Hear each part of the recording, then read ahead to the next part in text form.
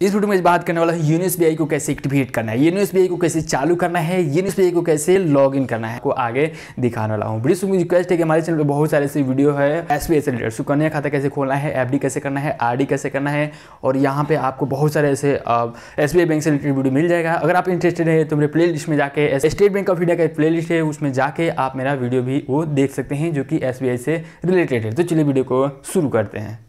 तो उसके लिए मैं अपने प्ले स्टोर से यूनिवर्स को इंस्टॉल कर चुका हूँ और इसको ओपन करता हूँ। जैसे ही इसको ओपन करूँगा तो यहाँ पे देख सकते हैं इस तरीके का इंटरफेसेज होता है और यहाँ पे दो ऑप्शन होता है एग्जिटिंग एस कस्टमर और new to SBI customer new to SBI से आपने अकाउंट खोला था, अब आपका अकाउंट खुल गया तो आप जीटिंग करेंगे। एग्जिटिंग करने के बाद मोबाइल नंबर चूज़ करेंगे। मोबाइल नंबर चूज़ करेंगे तो ऑटोमेटिक एक मैसेज आएगा और ये जो मोबाइल नंबर वेरिफिकेशन है वो ऑटोमेटिक ये चल के करेगा ओटीपी से लेके, ठीक है? और यहाँ पे आपका सेविंग अकाउंट नंबर मांगेगा। अगर आपके पास अकाउंट नंबर नहीं है तो कैसे आपको निकालना है, ठीक है?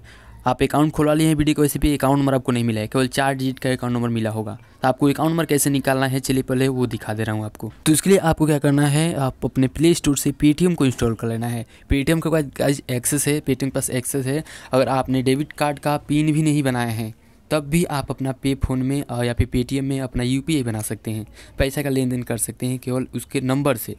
एटीएम कार्ड एक्टिवेट करने की ज़रूरत नहीं है एटीएम कार्ड का पिन बनाने की ज़रूरत नहीं है। तो पेटीएम इंस्टॉल हो चुका है, मैं इसको ओपन करता हूँ। पेटीएम ओपन हो करने के बाद गए यहाँ पे आपका मोबाइल नंबर मांगेगा मोबाइल नंबर आपको डाल देना है और आगे बढ़ा देना है। आगे बढ़ने के बाद गए आपको वहाँ पे एक ऑप्शन आएगा। ठीक है, एक ऑप्शन आएगा बैंक एड का। आपको बैंक को एड करना है, जैसे State Bank of India search करके उसमें लिंक करना है। वही मोबाइल नंबर आपको पेटीएम में देना है, जो आपके बैंक में लिंक है। ठीक है, आपके बैंक में जो लिंक है, वहीं आपको मोबाइल नंबर इसको देना है। तभी आपका अकाउंट नंबर वो लेगा। और उसके बाद गाइज़ मैं क्या करता हूँ, अपने बैंक को ऐड कर देता हूँ। देखिए यहाँ पे आ गया है लॉगिन करने इस तरीके का मेरा इंटरफेसेज आ गया है, ठीक है। मैं क्या करता हूँ पेमेंट सेटिंग में जाऊँगा और यहाँ पे स्टेट बैंक का एक हमने सेट कर दिया है। चेक बैलेंस करूँगा, देखिए मेरा बैलेंस भी यहाँ पे शो कर रहा है। सॉरी यहाँ पे आपको देखिए ज़ीरो बैलेंस शो कर रहा है। अब मैं क्या करूँगा, इसको कैसे निकालूँगा?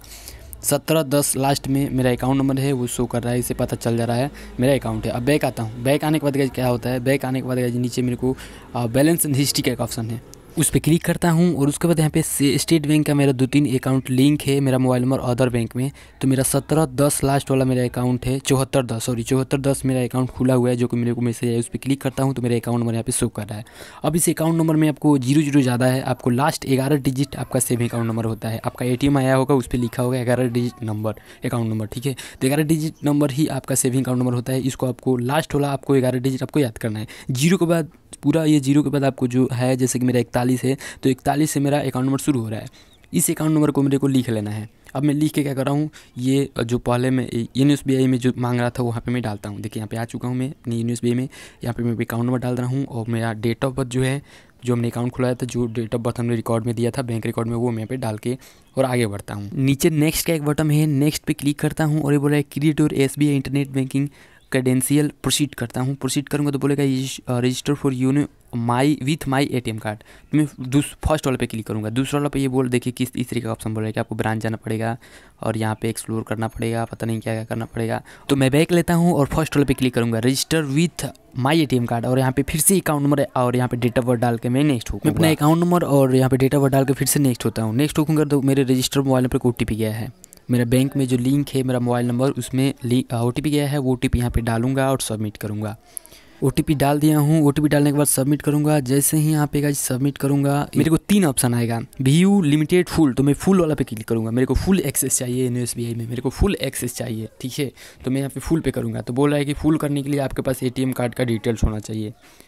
मतलब अगर पैसा का लेन देन भी करना चाहते हो तो एटीएम कार्ड का सिक्स डिजिट लास्ट वाला जो नंबर है वो मांग रहा है। तो मैं अपने एटीएम कार्ड का पिन बना चुका हूँ वो ये एटीएम का पिन भी मांगेगा, ठीक है भाई यूनिस बी में पिन भी मांगेगा। तो मैं सिक्स डिजिट लास्ट वाला जो और ए कार्ड का जो नंबर होता है और लास्ट चौदह डिजिट का पूरा टोटल नंबर होता है शायद और लास्ट सिक्स डिजिट में यहाँ पे डाल के नेक्स्ट करूँगा। नेक्स्ट करने के बाद मेरे को एटीएम का पिन मांगेगा। मैं अपने एटीएम का पासवर्ड यहाँ पे डाल दूँगा। एटीएम का जो पिन होगा, वो यहाँ पे मैं डाल के और फिर से मेरे को नेक्स्ट बट सबमिट बटन का सबमिट करूँगा तो ये ऑप्शन आ जाएगा कि अपना यूज़र नेम एक बनाए और अपना एक पासवर्ड बनाए। पासवर्ड बनाते वक्त आपको दो बार पासवर्ड यहाँ पे डालना है। तो मैं अपना यूज़र नेम यहाँ पे बनाऊँगा।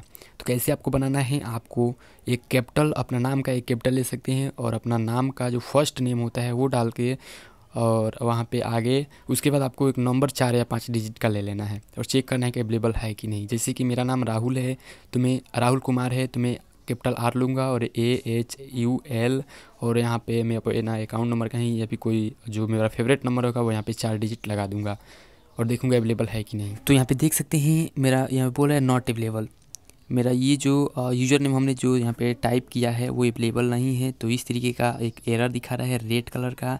This user is this user ID is not available इस तरीके का एक एरर आ रहा है इसमें। तो मैं अपने नाम में कुछ uh, जो डिजिट हमने लगाया है उसमें कुछ चेंजेस करूँगा तो इसमें ऑप्शन आ जाएगा कि this user name is available और रेड कलर का बटन और जो रेड कलर का एरर है वो हट जाएगा।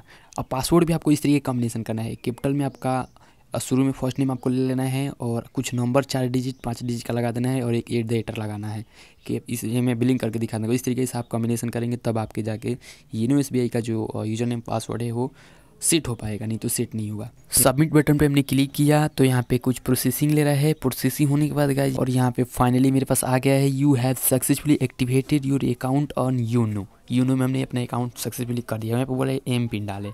लॉग इन एम पिन यहाँ पे मांग रहा है गाइज़ तो मैं अपना यहाँ पे एम पिन बनाऊँगा। सिक्स डिजिट का मैं एम पिन यहाँ पे बनाऊँगा। ध्यान रहेगा, जब भी आप यूज़र ने पासवर्ड बना रहे हैं, उसका स्क्रीन ले लेना है, ताकि आप भूले नहीं। अगर आप यहाँ पे कुछ एरर भी आएगा तो जब आपका इस तरीके का इंटरफेस आएगा you have successfully activated your YONO account तो आपका यूज़र नेम पासवर्ड आपको याद रखना है, कभी भी। ठीक है? तो मेरा यहाँ पे हो चुका है तो मैं इसको लॉगिन करता हूँ। लॉगिन करने के बाद मेरा बैलेंस और अकाउंट नंबर यहाँ पे यहीं पे शो करेगा। मैं एफ़ डी सब कुछ कर सकता हूँ। ज़्यादा इन्फॉर्मेशन के लिए मेरे प्लेलिस्ट में जाके आप वो वीडियो भी देख सकते हैं स्टेट बैंक ऑफ़ इंडिया का। उसमें हमने बहुत सारा वीडियो यूनो एस से रिलेटेड डाल रखा है। एफडी कैसे करना है आरडी कैसे करना है सुकन्या अकाउंट खाता कैसे खोलना है पीपीएफ अकाउंट खाता कैसे खोलना है पीपीएफ का लोन लीजिए कैसे चेक करना है, बहुत सारा हमने वीडियो डाल के रखा है। तो आई होप कि आपको वीडियो काफ़ी पसंद आया होगा। मिलते हैं इंडियन में। आज के लिए जय हिंद, जय भारत।